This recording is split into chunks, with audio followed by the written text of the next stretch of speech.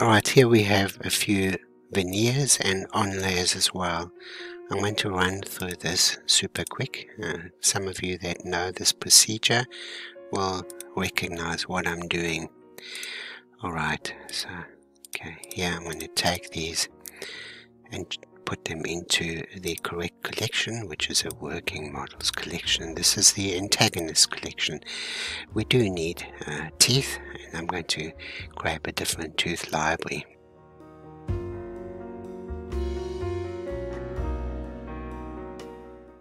Good. I'm going to, to select, move them into the collection.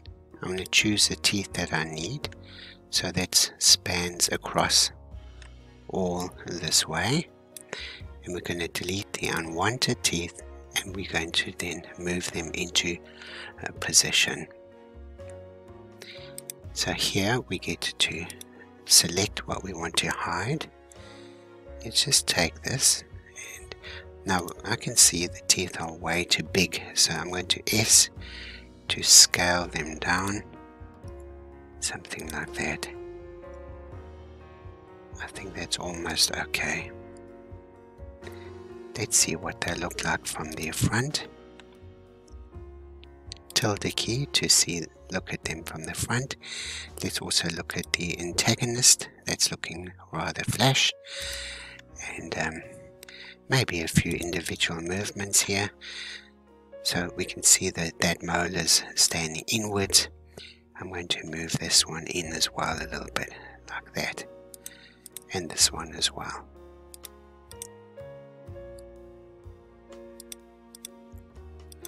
Okay, now we can see these are um, quite far um, palately, but I want to try and maintain a good shape um, arched.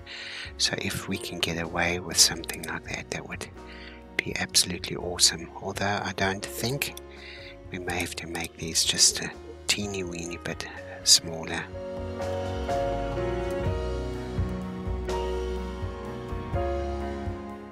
Alright, I'm going to take all of my teeth and put them in the correct collection. Teeth to collection. Great, and now we're going to move them apart with the anti-collision. So this is really cool how it works. Here we can see how they collide, okay? Select all the teeth and then move out of collision. Boom. That's just amazing. And then we're going to accept this like that. Alright, so now the the contact points are sort of a little bit out. So I'm just going to use a G key and just move them a little bit better in transparent mode. Okay. So I'm just going to move them. I'll just try and move them. Here they still seem to be colliding a bit. So I'm going to move, take all the teeth and then move out of collision and then accept. Excellent, so now they've all been out of collision. Great. So this is this is looking absolutely awesome. Maybe this one we can move out a little bit more. Now we can see how far these teeth are behind and the purpose of that is to get a nice arch. Alright, next thing we're going to do is we're going to hide the this collection and I'm going to start marking the teeth. Alright, so the scan is not that good. It's been given to me, but um, we'll try and work on this. So, okay, draw. Now this is going to take a little while to do.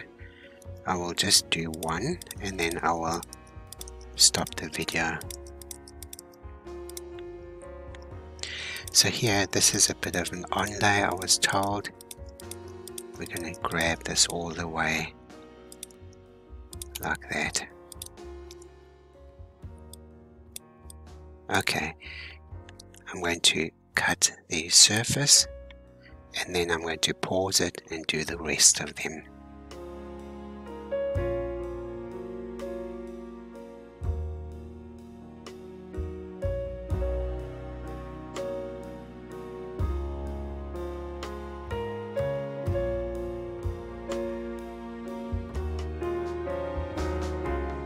Now that they've all been, uh, all the surfaces have been done, we're going to block them out. I'm going to do them in batches.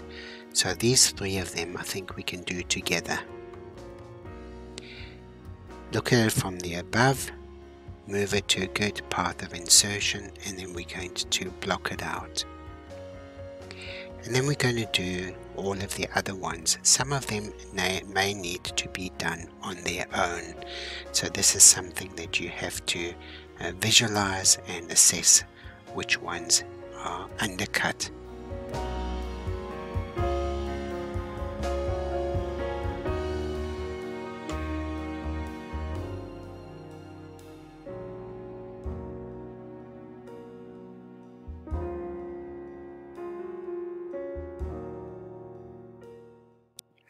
Alright, now that we've got these surfaces, we're going to give them all margins.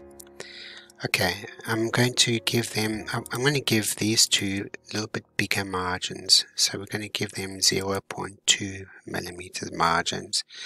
The rest of them I'm going to just give 0.1 millimeter margins. Okay, here we go.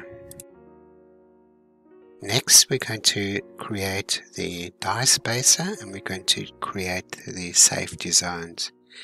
Now we can do that all in one go.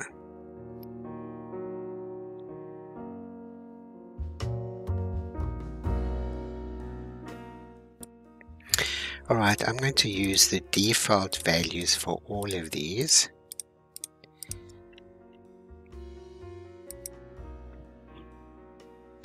And then after that we're going to cut out the occlusion. Okay, we're going to view our teeth and we're going to then select our antagonist, view the antagonist. We're going to create a cutter for this antagonist. Next, I'm going to be selecting all of my teeth that I want to have trimmed.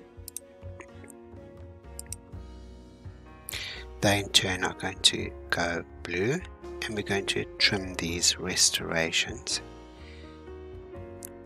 Great, now we can see that some of them are quite a lot trimmed but um, the other ones are okay up front here.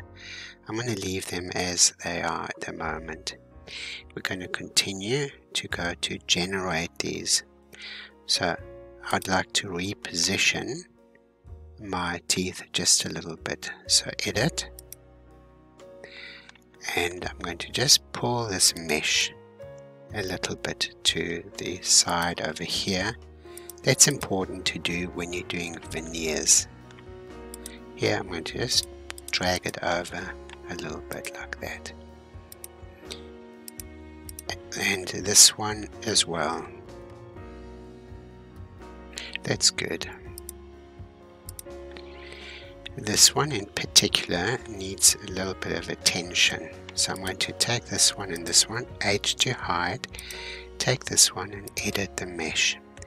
We're going to use the G key or just left click and use the G key and we're going to reposition this a little bit better.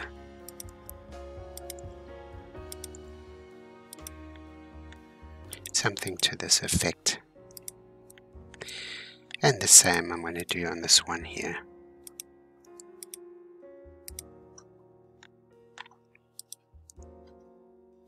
That's mainly because it's so far away from the margin.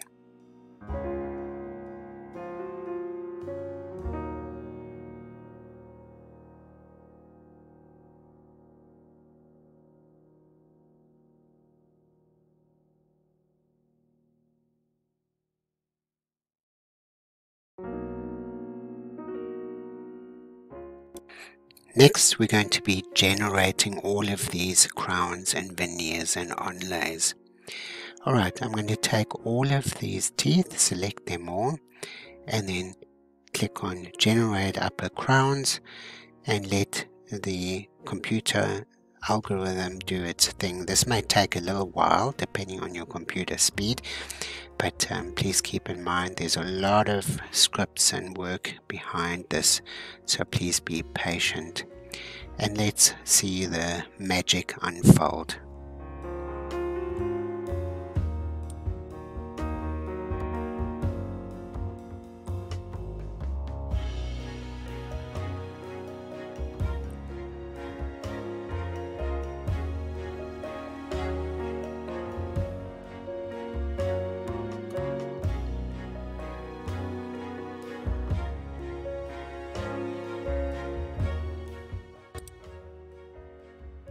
And wow, here we have it.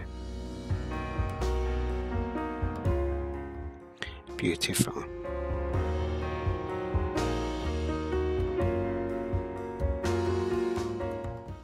Next I'm going to be selecting them all in one go and we're going to smooth them down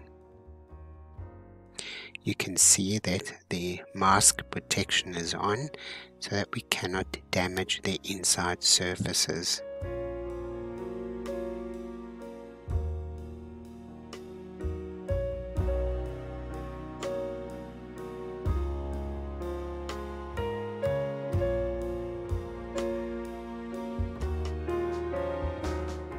And here we see them all completed.